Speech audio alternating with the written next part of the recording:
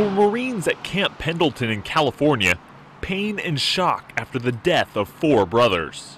It hurts because, I mean, every, every Marine counts. Things happen and uh, sometimes you gotta expect the unexpected. Base officials say the four Marines were in the Whiskey Zulu impact area, an area used for artillery practice near the center of the base to do routine maintenance.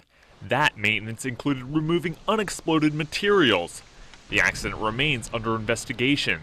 The commanding general said in a statement that, quote, our focus now is on ensuring these families receive the help and support they need.